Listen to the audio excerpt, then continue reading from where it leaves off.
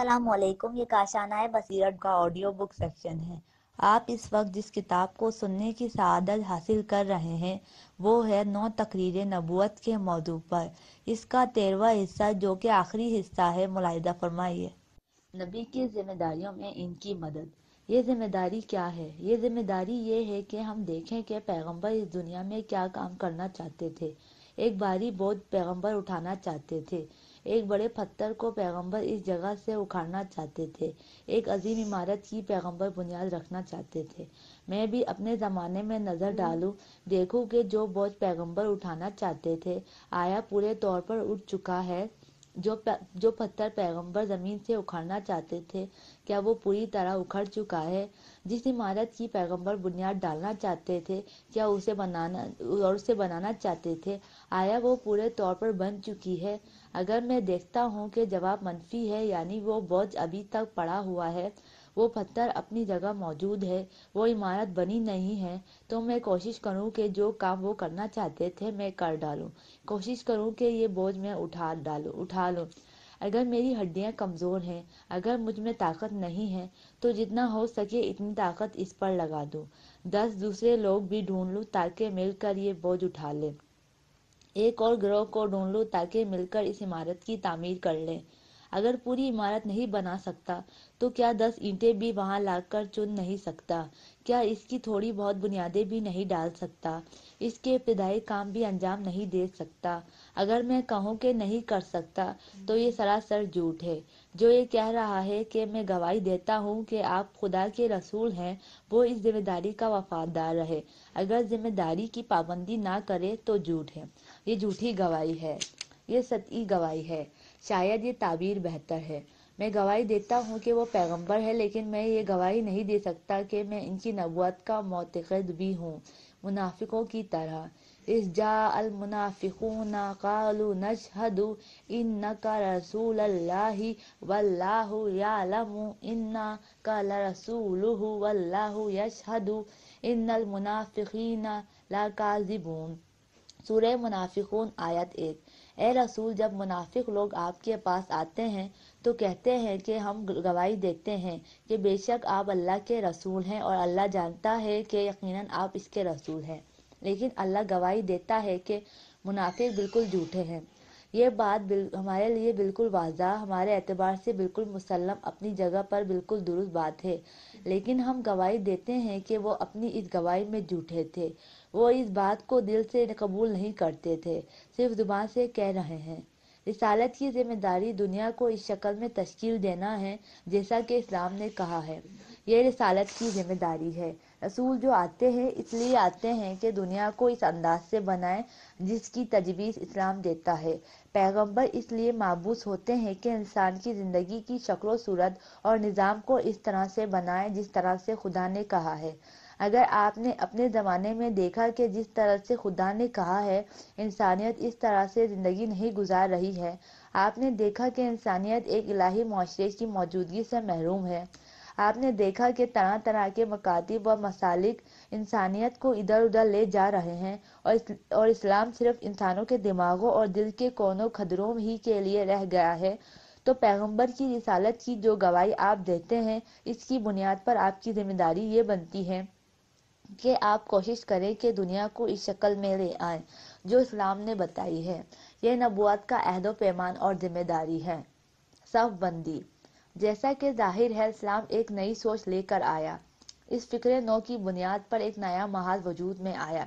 नई सफ बंदी पैदा हुई। कुरानी आयात के मुताले से बार बार इस नतीजे में पर पहुँचे हैं कि बुनियादी तौर पर दीन का मतलब नया महाज और नई सफ बंदी है।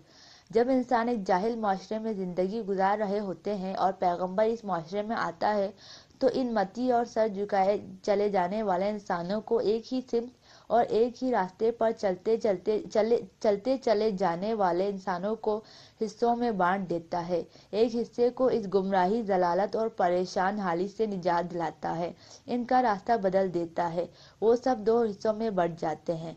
ये बात इस मायने में है कि अम्बिया इख्तलाफ का सबब होते हैं। इस मायने में अम्बिया अफ्तराक का सबब है। याद रहे कि जिस मायने में कहा है, इससे क्या मुराद है? ताकि अगर किसी जगह ये बात नकल करें तो ये ना कहिएगा कि फलां साहब ने कहा कि अम्बिया इख्तलाफ का सबब होते हैं। किसी मायने में अम्बिया इख्तलाफ का सब, किस मायने में अम्बिया इख्तलाफ का सबब होते हैं? इस तरह से कि सब लोग एक ट्रेन के डब्बों की तरह किसी नशेब में गिरे जा रहे हैं। पैगंबर आता है, पीछे से इन डब्बों को थाम लेता है।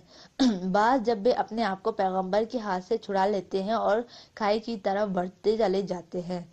कुछ लोग पैगंबर के रोकने को पसंद करते हैं और रुक जाते हैं। इस तरह डब्बों में इख्तलाफ पैदा हो जाता है। ये एक काफिला है जो चला जा रहा है। चोरों की जानिब चला जा रहा है, मौत की घाटी की जानिब। चला जा रहा है जलजला खैर ज़मीन की तरफ़। अब पैगंबर आता है, कहता है, ना जाओ। कुछ लोग इसकी बात मान लेते हैं और नहीं जाते कुछ बात नहीं मानते और चलते रहते हैं। बस दो महाज बन जाते हैं। इख्तलाफ पैदा हो जाता है इस मायने में। अम्बिया आते हैं और माशरे के अंदर इख्तलाफ और दो गानगी पैदा कर देते हैं। अलबत् दो गानगी ऐसे माशरे के अंदर जो पूरे तौर पर गुमराह थे, पैगंबर आते हैं और कहते हैं कि खुदा की तरफ़ पलट जाओ। इन सब के दरमियान इख्तलाफ पैदा हो जाता है। बाज़ लोग पलट जाते हैं बाज़ लोग नहीं पलटते। बस माशरे के अंदर अम्बिया के आने से एक नया महाज एक नई सफ बंदी मुकाबले में एक नया मौक़ सामने आ जाता है। पैगंबर एक तरफ़ एक सफ के अंदर अम्बिया के दुश्मन और मुखालिफिन व मुआनिदीन दूसरी तरफ़, दूसरी सफ के अंदर। जिन दो सफ़ों की मैं तस्वीर कशी कर रहा हूँ, इस पर खूब गौर कीजिए। पैगंबर इब्तदा में तनो तनहा थे। सब लोग दूसरी सफ के अंदर थे। पैगंबर ने कोशिश की, जद्दोजहद की एक एक करके दो दो करके, यहाँ तक कि वो गुमराहों और जहन्नमियों की सफ के मुकाबले में एक नई सफ तश्कील देने में कामयाब हो गए। सफ़े गुमराही के मुकाबले में एक और सफ बनाने में कामयाब हो गए। दो सफ़े हैं, एक दूसरे बिलमुकाबिल। एक सफ पैगंबर की सफ है, एक सफ पैगंबर के दुश्मनों की सफ है। पैगंबर क्या करना चाहते थे? चाहते थे कि लोगों को जन्नत में ले जाएँ। इस दुनिया की जन्नत और मौत के बाद आने वाली जन्नत दोनों में। क्योंकि वो लोगों को जन्नत में ले जाना चाहते हैं, इसीलिए लोगों को इनके साथ चलना होगा। अगर इनके साथ नहीं आए तो जन्नत में नहीं पहुँच पाएँगे। ये बात दुरुस्त है। पैगंबर चाहते हैं कि इंसानों को सदत की मंजिल तक पहुँचा दें। अगर इनके साथ नहीं आए, अगर इनका साथ नहीं दिया और हम कदम नहीं हुए तो सादत की मंजिल तक नहीं पहुँच पाएँगे। ये बात अच्छी तरह याद रखिएगा। अब इन दो सफ़ों में एक शख्स है, वो पैगंबर की तरफ़ नज़र डालता है। देखता है कि ये दुरुस्त कह रहे हैं। जितना भी सुनता है, देखता है कि पैगंबर की बातें बहुत अच्छी हैं। दूसरी तरफ़ से वो ये भी देखता है कि अगर वो पैगंबर की सफ़ में आ गया तो रूबरू खड़ी सफ़ के साथ मुकाबला होगा। अब इसका दिल नहीं चाहता कि सामने वाली सफ़ में जाए। क्योंकि वो देखता है कि वो जहन्नुम में जा रही है। ये भी दिल नहीं चाहता कि पैगंबर की सफ में आ जाए, क्योंकि देखता है कि इसमें परेशानियाँ हैं। क्या करता है? इन दो सफ़ों के दरमियान आकर एक पुरअमन और पुरसकून जगह तलाश करता है। एक खेमा वहाँ लगाकर बैठ जाता है। इसका क्या होगा? आप बताइए, आया एक आदमी, ये आदमी जो दरमियान में बैठा है, बिस्तर पर आराम से सो रहा है, ये जन्नत में पहुंचेगा या नहीं? ज़ाहिर है कि नहीं। क्योंकि पैगंबर जन्नत में जाना चाहते हैं तो वो लोग जाएँगे जो इनके साथ चलेंगे। वो तो पैगंबर के साथ नहीं चला। जो शख्स दो सफ़ों के दरमियान है, वो पैगंबर के साथ नहीं है। जो पैगंबर के साथ नहीं मिला, वो पैगंबर के मुकाबले में है। जो अली के साथ नहीं है, वो अली के बरखिलाफ है। जो शख्स हक के साथ ना हो, वो हक के खिलाफ है। ये बात कुरान भी हमें बताता है। लेकिन इमाम का वाज और साफ़ कलाम जो हमारी समझ, इसकी नस्बत ज़्यादा नज़दीक है। वो बयान करता है, फरमाते हैं असाकितु अखवा राज़ी व मन लम यकुन माना काना अलैना। वो शख्स जो बातिल के मुकाबले में खामोश है, वो इसका भाई है जो इस हालत पर राज़ी है। अब ये नहीं बताते जो राज़ी है वो कैसा है। इसका हाल तो मालूम ही है कि मन रज़ी या बी आमिली कौमिन फहुआ मिनहुम।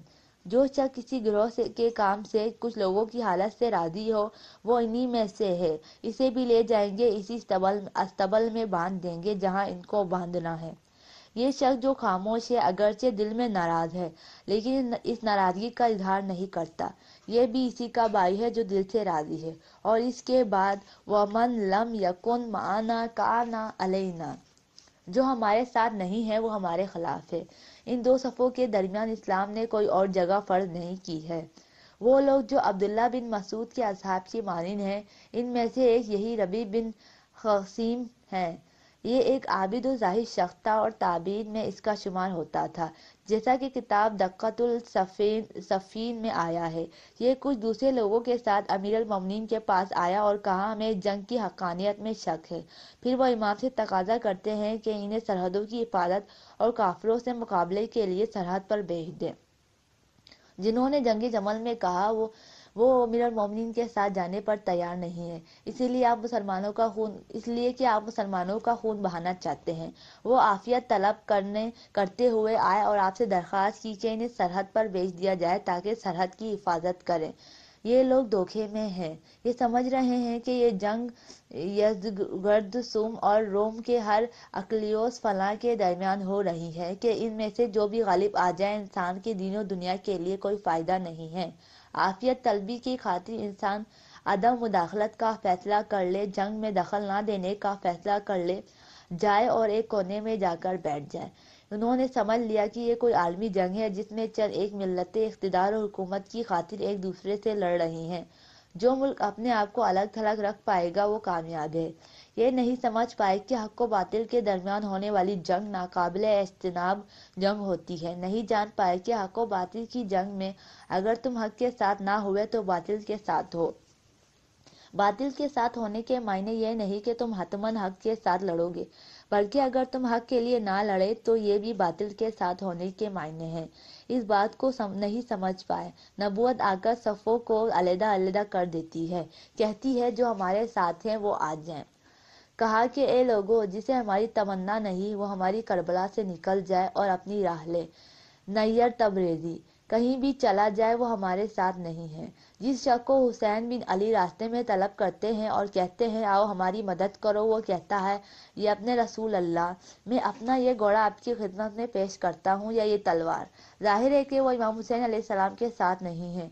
वो हुसैन के खिलाफ है, ना कि हुसैन के साथ।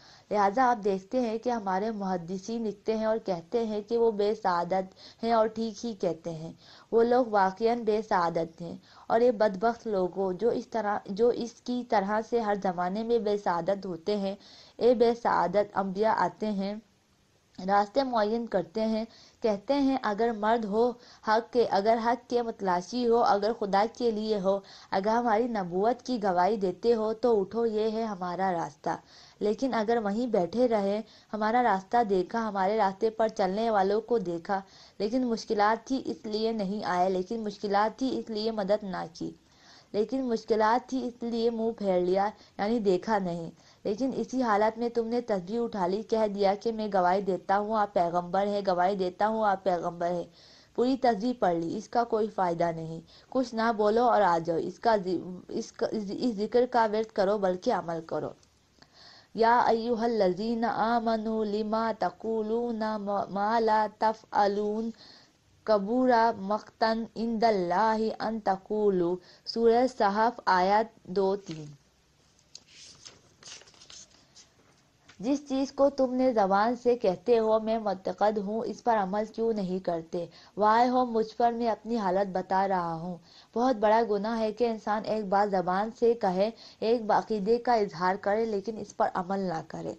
मैं क्यों कर कहूँ कि पैगंबर खुदा का पैरोकार हूँ, जबकि मैं अबू जहल की पैरवी कर रहा हूँ?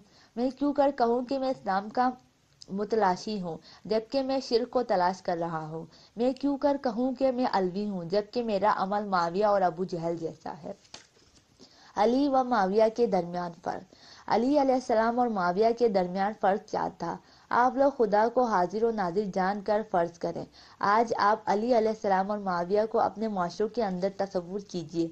एक शख्स का तस्वुर कीजिए, वो जो कुछ कहता है, ज़ाती ऐश अशरत और सुकून के बरखिलाफ कहता है। जो कुछ वो कहता है ज़िम्मेदारी का बोझ कंधों पर डालने वाली बात होती है। जो कुछ वो कहता है कोशिश और जद्दोजहद है। झूठ इसको बुरा लगता है, रिश्वत इसको नापसंद है। जिस तोहफे में रिश्वत की बू आती है, इससे वो नाराज़ होता है। खुदा की राह में और खुदा के लिए गजबनाक होता है। राह खुदा में इसका गैज़ गजब अजीब अंदाज का है। राह खुदा में और हुक्म खुदा के सामने वो किसी पर रहम नहीं करता। इसका भाई भी आता है और इससे बैतुल माल से कुछ पैसे माँगता है तो इसकी मुट्ठी की तरह लोहे की सलाह गर्म करके बढ़ा देता है। माशरे का इस किस्म का एक फर्द सख्त गिर, बारीक बीन और हदूद इलाही व अहकाम इस्लामी के नफाज में मोहतात ये एक फ़र्द है। एक और फ़र्द इसके बिलमुकाबिल है। वो तैयार है कि लोग ऐश करें, लोग आरामदा ज़िंदगी गुजारें। इससे जो कुछ मांगा जाए ये उसे देने के लिए तैयार है। लेने वाले के सामने सिर्फ़ एक शर्त रखता है। वो शर्त ये कि कहता है, अली की मदद ना करो, मेरी मदद करो, जो मदद मैं तुमसे चाहता हूँ, वो कुछ ज़्यादा भी नहीं है। कभी कभार मेरी तारीफ़ कर दिया करो, बस इतना ही है। अब आप खुदा को सामने रखते हुए फैसला करें। आप इन दोनों में से किसके पास जाएँगे? इस जमाने में और तारीख के इस मोड़ पर आप कैसे, किसे कबूल करेंगे? क्या आप इस शख्स से मिलने के लिए तैयार हो, जिसके साथ जाना, जिसके साथ होना, जिसके फरमान पर अमल करना? परेशानी, ज़िम्मेदारी, हरकत और कोशिश का बायस है। क्या आप तैयार हो कि इसकी खातिर उस किनारे उससे किनारा कशी इख्तियार कर लो, जिसके पास इंसान के लिए पैसा है, मुकाम है, सुकून है अहदा है, असर रसूख है, ताकत है? अगर आप तैयार हो तो आप खुशकिस्मत हो। आप अली के ज़माने में भी होते तो अली के शिया होते। लेकिन अगर आप देखते हैं कि आपका दिल आराम की तरफ़, ऐशो इशरत की तरफ़, पैसे, मुकाम और इज़्ज़त की तरफ़, लोगों पर फख्र करने की तरफ़ उड़ा जा रहा है, अगरचे ये सब ये सब गैर खुदा की राह में ही क्यों ना हो? तो जान लो कि अगर आप वहाँ होते तो अगर बहुत ज़्यादा ख्याल रख लेते तो इन लोगों में से होते जो रात की तारीकी में खामोशी से पड़ोसी से मुलाकात किए बगैर घोड़े पर सवार हो जाते। बीवी बच्चों से भी कह देते कि मैं शाम में तुम्हारा मुंतजर हूँ और चल पड़ते शाम की तरफ़। अली को तनहा छोड़ देते, जैसा कि इस ज़माने के मुतद मुमताज़ लोगों ने छोड़ दिया था। अमीर सलाम के चचा जाद भाई, रसूल अकरम वसल्लम के चचा जाद भाई। इतनी हदीसों के रावी मुफसर कुरान, शियों और सुन्नियों में काबिल एहतराम शख्स अब्दुल्ला बिन अब्बास ने अली के साथ यही किया कि अमीर मोमिन के नहजुल बलागा में दो खुतबे और ख़त हैं, अब्दुल्ला बिन अब्बास के लिए। अब्दुल्ला बिन अब्बास कौन थे?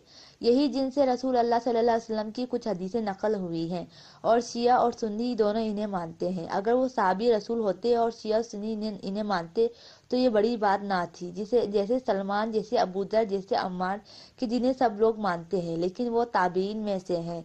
पैगंबर अकरम सल्लल्लाहु अलैहि वसल्लम के ज़माने को उन्होंने ठीक तरह से नहीं देखा है। वो बच्चे थे। जब पैगंबर पैगंबर इस्लाम सल्लल्लाहु वसल्लम इस दुनिया से रुखसत हुए, तारीख के मुताले से ये बात सामने आई कि जनाब अब्दुल्ला बिन अब्बास खलीफा दोम के साथियों में से हैं। वो भी इनसे बहुत मोहब्बत करते हैं। ये भी ज़्यादातर उमर सी के साथ होते थे। एक आदमी जो ताबीन में से है पैगंबर के ज़माने को इसने ठीक से ना देखा हो, इसके बावजूद शिया और सुन्नी दोनों इसे मानते हों। अजीब बात है, ये आदमी बहुत अजीब होना चाहिए। इस्लामी जबान में ऐसे शख्स का नाम क्या है कि दो मुखालिफ गिरोह दोनों एक ही को मानते हैं? ये शख्स जब बसरा के हाकिम और गवर्नर थे तो बैतुल माल का पैसा उठा के चलते बने। कहा? मक्के मुकरमा खुदा के हरम अमन अमान में। यकीनन पैसा वहाँ सदक़े में दिया होगा, गरीबों को दिया होगा। हाँ कनीज फरोश गरीबों को चंद एक कनीदी खरीद ली। खूबसूरत कनीदे ताकि इनके साथ सुकून से ऐशो इशरत में ज़िंदगी गुजार दे। अगर, अब अगर आज अब्दुल्ला अब्दुल्ला बिन अब्बास होते तो आपके ख्याल में वो अमीर अलमोमिन के लिए क्या कहते? हैं फजीलत अली में तमाम बुनियादी हदीसें वो नकल करते हज़रत अली की याद में अश्क बहाते जब अली के साथ होते थे, इस वक्त की यादें नकल करते। लेकिन क्या जहीन होशियार हैं आप और आप इस बात को मान लेते कि वो शिया हैं? हम कह देते कि जाओ ये जाल किसी और पर डालो, तुम अगर शिया होते तो इम्तिहान के वक्त तुम्हें सामने आना चाहिए था।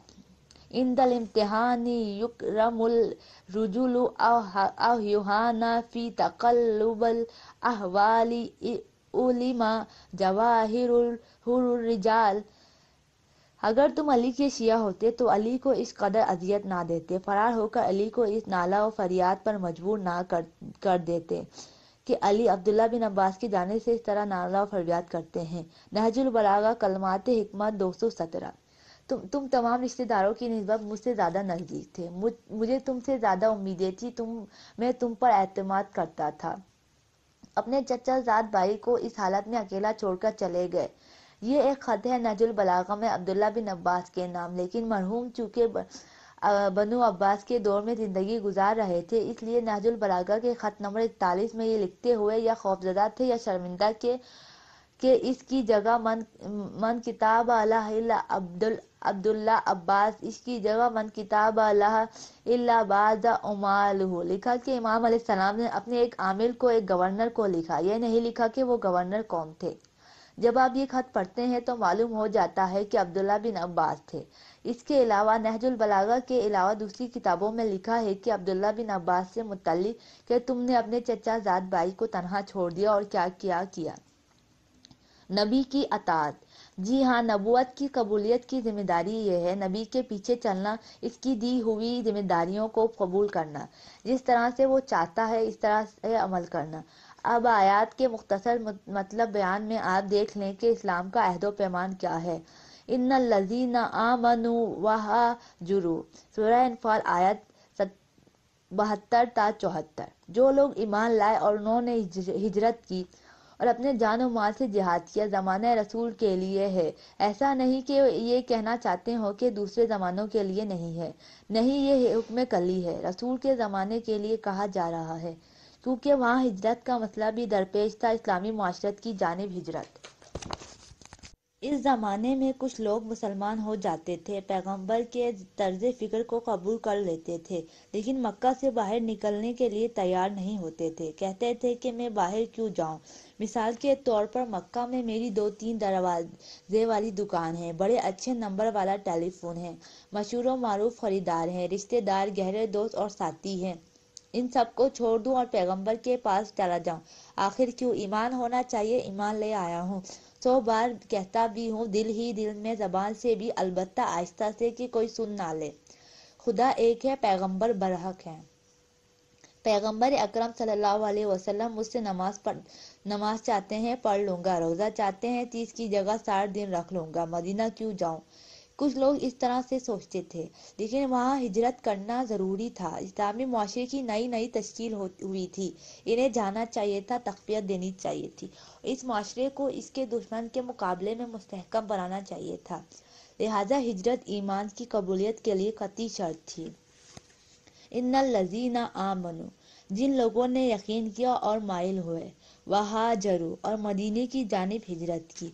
वजाहदू बेवालिहिम व अनफुसिहिम। अपने माल और जान दोनों से खुदा की राह में जहाद किया। इस तरह दूसरी जानब से वल्लजीना अवाओ वो लोग जिन्होंने इन लोगों को जो बेकस और बेगर थे मदीने में पना दी। व नसरू और इनकी मदद की। उलाई का बाजुहुम बाजी। ये लोग एक दूसरे के हामी और मददगार हैं। एक दूसरे के साथ मोहल्लिक हो जाने वाले और एक महाज बनाने वाले हैं। ये वही मोमिन हैं जो ईंटों की तरह एक दूसरे के साथ पेवस्त हैं। एक इमारत को देखिए, एक दीवार को देखिए। ईंटें एक दूसरे के अंदर तक गई हुई होती हैं। लकड़ियाँ एक दूसरे के साथ पेवस्त होती हैं। एक इमारत के तमाम अज्जा एक दूसरे के साथ पेवस्त और गिरा खोरदा होते हैं। इस्लामी माशरे के अंदर ममिन ऐसे ही होते हैं। सब एक दूसरे के साथ पेवस्त मुतसिल और मिले हुए होते हैं। अलिया यानी विलायत यानी ये पूरे तौर पर पेवस्त होना, मुकम्मल तौर पर जुड़ा हुआ होना ये अवलायत है। उलाई का बाजुम अलिया बाजिन।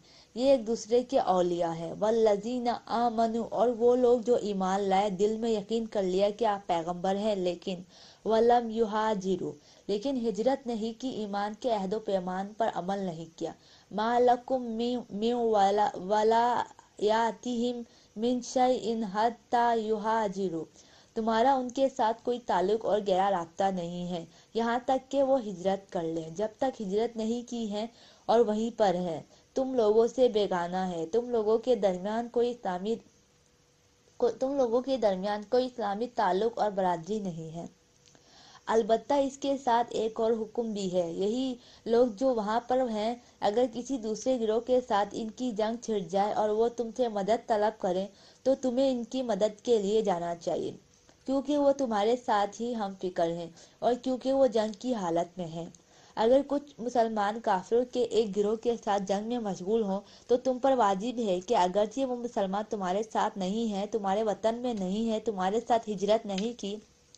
तुम पर वाजिब है कि जाओ और इसकी मदद करो, ठीक है?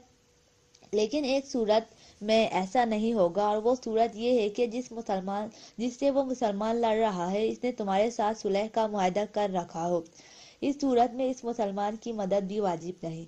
ये आयत हमें क्या समझा रही है? पहले तो ये समझा रही है कि मुसलमान की मदद करना दुनिया के किसी भी मुकाम पर हो वाजिब है। अगरचे इन्होंने हिजरत ना की हो। दूसरा ये बता रही है कि जिस मुसलमान ने हिजरत नहीं की, इस्लामी माशरे की तरफ़ नहीं आया, इस्लामी माशरे में नहीं आया, दारुल फ़िक्र के अंदर ही मौजूद है। अगर इस शख्स की किसी एक काफिर या काफरों के गिरोह से जंग हो जाए और तुम्हारा इस काफिर के साथ सिला और जंग ना करने का मुआहिदा हो तो तुम्हें हक नहीं कि अपने मुसलमान भाई की मदद करो। क्यों? इसलिए कि इसने हिजरत नहीं की, क्योंकि वो तुम्हारा भाई नहीं है। तुम्हारी तरफ़ हिजरत नहीं की। व इन तनसरू कुम फिद्दीनी फ़अलैकुम नसरू इल्ला अला कौमी। मगर इस कौम के मुकाबले में इन लोगों के नुकसान, इन लोगों के नुकसान में के भाई न को व भाई न हो मिसाक हो कि तुम्हारे और इनके दरमियान अहदो पैमान मौजूद है। वल्लाह बिमा तामलूना बसीर, और जो कुछ तुम करते हो, खुदा इसे देख रहा है। कफर बाजिन, जो लोग काफिर हैं, वो एक दूसरे के हामी व मददगार हैं। ये नहीं देखना कि वो दो अलग अलग छावनियों में हैं, लेकिन तुम्हारे साथ दुश्मनी के मामले में वो एक दूसरे के साथी और हलीफ हैं। इल्ला तफ अलूहु तकुन फितनतुन फिल अर्दी व फसादुन कबीरुन। अगर तुम ऐसा नहीं करोगे तो ज़मीन में बड़ा फितना और फसाद फैल जाएगा। शायद इससे मुराद ये हो कि अगर तुम इस महाज बंदी और सफ आरई का ख्याल नहीं रखा, अगर नहीं जाना और मालूम ना कर पाए कि दुश्मनान खुदा के मुकाबले में तुम लोगों की सफ जुदा गाना और वादा सफ है और अगर ये नहीं जाना कि जो भी इन दो सफ़ों के दरमियान होगा वो दुश्मनों और मुखालिफों की सफ में होगा ना कि इस सफ में। अगर इन बातों को नहीं जाना और इस, इनके इस इसके तकाजों पर अमल नहीं किया तो ज़मीन में फितना खड़ा हो जाएगा फसाद पैदा हो जाएगा। फितना दीन से दूरी का फितना है फसाद मुआशरे के अंदर हुक्म खुदा के ना होने का फसाद है मुमकिन तौर पर। वल्लजीना आमनु जो लोग ईमान लाए, वह, ज़रूर। और हिजरत की। इस आयत पर भी गौर कीजिएगा, क्योंकि ये आयत अच्छी दलील है इन बातों के लिए जो बयान की है। वल्लजीना आमनु, जो लोग ईमान लाए, वाह, ज़रूर। हिजरत की, वजाहदू फ़ी सबीलिल्लाह। राह खुदा में जहाद किया। वल्लजीना अवन नसरू। जिन लोगों ने पनाह दी और मदद की उलाइकाहुमुलमोमिनीना हक्कन। यही लोग सच्चे मोमिन हैं, ठीक तरह समझ में आ गया, सच्चा मोमिन ये है। लेकिन वो शख्स जो ईमान ले आया और हिजरत जहाद पनाह देना और मदद करना इसके अमल में शामिल नहीं, वो क्या है? गैर गैर हकीकी मोमिन, झूठे मोमिन। ये आयत का मफहम है। अम्बिया का बाहिमी ताउन। कुछ बातें सूरह आल इमरान की इन आयात के हवाले से भी अर्ज़ है, क्योंकि ज़रूरी है इनकी मुख्तसर तशरी की जाए। इसके इसके बगैर मकसद समझने में नहीं आएगा। व इज़ा अखज़ल्लाहु नबी ही नबीयीना। और याद करो, जब खुदा ने तुम्हारे पैगम खुदा ने तमाम पैगंबरों से यह अहद इकरार लिया था खुदा ये बात बयान करना चाहता है कि हमने गुजशत अम्बिया से भी अहदो पैमान लिया। इनसे कहा, गुजशत अम्बिया से मसलन हज़रत मूसा से हमने कहा कि जो चीज़ तुमको दी, अगर तुम्हारे बाद कोई पैगंबर आया कि जिसने इस चीज़ की तायद की जो हमने तुम्हें अभी दी है तो लाजिम है कि तुम भी इस पैगंबर पर ईमान लाओ और इसकी मदद करो। यानी हज़रत मूसा अपने वाले पैगंबर की, अपने बाद वाले पैगंबर की, हज़रत ईसा अपने बाद वाले पैगंबरों की, हर पैगंबर जो किसी और पैगंबर के बाद आए गुजशत पैगंबरों की बातों की ताकीद करे। तो गुजशत पैगंबर पर आदिम है, इसकी तस्दीक करे, अपने बाद वाले पैगंबर पर ईमान लाए। अलावा इसकी मदद भी करे। लतू मिनुन्ना भी वलतन सुरुन्ना हो। इसकी मदद इसकी मदद भी करे। फिर फरमाता है, ये नुसरत फिर पैगंबर क्या है?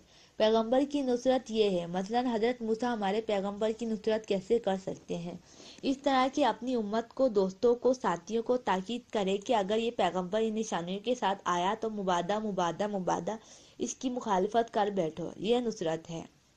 काला आ अकर अकर तुम खुदा ने इन अम्बिया से कहा, क्या तुमने इकरार किया मेरे इस अहदो पैमान को कबूल किया? ये अहद जो मैं तुमसे ले रहा हूँ कि अपने से बाद वाले अम्बिया पर ईमान लाना इस शर्त के साथ। काला अकरर तुम व अखस तुम अला इसरा। बिल्कुल इसी अहद अहद को तुमने क़यामत तक के लिए अपनी उम्र से भी लिया है।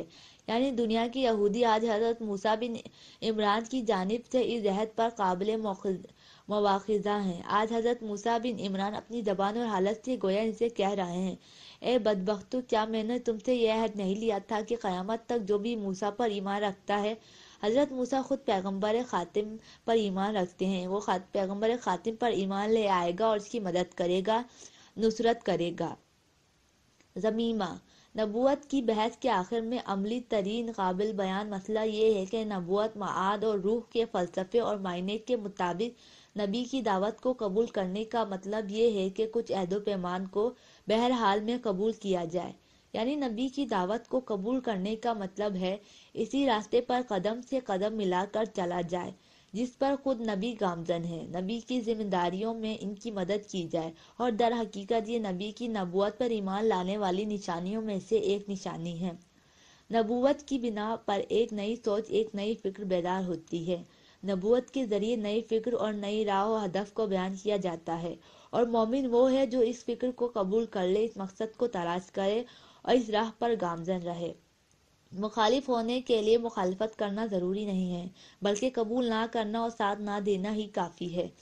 नबी और इनकी जद्दोजहद के मामले में जो भी दरमियान में है, वो नबी के साथ नहीं है। और जो नबी के साथ ना हो, वो तो वो नबी के साथ ही, साथ है ही नहीं। इस हकीकत को दसियों आयात में बयान किया गया है। इन लजीना वहाजरू, यकीनन जो लोग ईमान लाए और हिजरत की। वजाहदु बि अमवालिहिम व अनफुसिहिम फ़ी सबीलिल्लाह, और अल्लाह की राह में अपने जान और माल से जहाद किया। वल्लजीना व नसरू, और जिन्होंने महाजरीन को मदद दी और इमदाद दी। उलाई का बाजुहुम बाजिल ये लोग आपस में एक दूसरे के हामी व मददगार हैं। वल्लजीना आमनु वलम युहाजिरु मा लकुम मिन मिन वलायतिहिम मिन शैइन हत्ता युहाजिरु।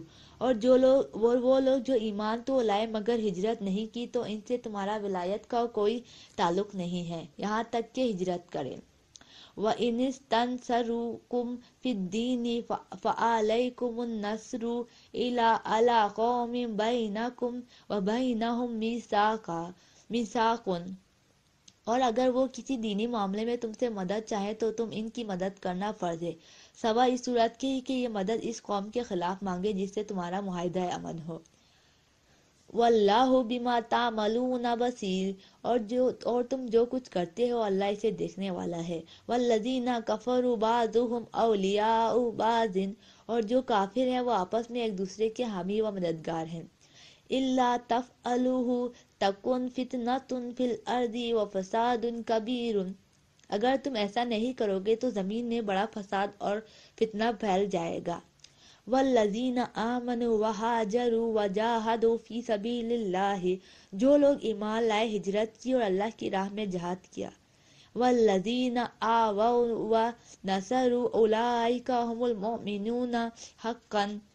और जिन्होंने पनाह दी और इमदाद की, यही लोग सच्चे मोमिन हैं। लहुम मगफिरत व रिज़्क़ुन करीम। इनके लिए बख्शिश है और इज़्ज़त की रोज़ी। वल्लजीन आमनु मिन बादुहु वहाजरु वजाहदु माकुम फउलाइका मिनकुम। और जो लोग बाद में ईमान लाए और हिजरत की और तुम्हारे साथ मिलकर जहाद किया तो वो भी तुम ही में दाखिल हैं। सूरह अनफाल आयत बहत्तर ता इज़ा अखज़ल्लाहु मीसाक़ल और याद करो, जब खुदा ने तमाम पैगंबरों से यह अहद इकरार लिया था लमा आतईतुकुम मिन किताबम व हिकमतिन, कि मैंने तू जो तुम्हें किताब व हिकमत अता की है तुम जाअकुम रसूलुम मुसद्दिकुल लिमा माअकुम, लितुमिनुन्ना बिही वला तंसुरुन तंसुरुन्नहु इसके बाद जब तुम्हारे पास एक अजीम रसूल आया जो तुम्हारे पास की चीज़ों, किताबों की तस्दीक करने वाला हो तो तुम इस पर ज़रूर ईमान लाना और ज़रूर इसकी मदद करना, इरशाद हुआ। काला आ अकरर तुम व अखज तुम अला इसरा। क्या तुम इकरार करते हो और इस पर मेरे अहदो पैमान को कबूल करते हो और ये ज़िम्मेदारी उठाते हो? कालू अकररना। उन्होंने कहा हाँ हम इकरार करते हैं। कालू फशहदू व अन्ना माकुम शाहिदीन।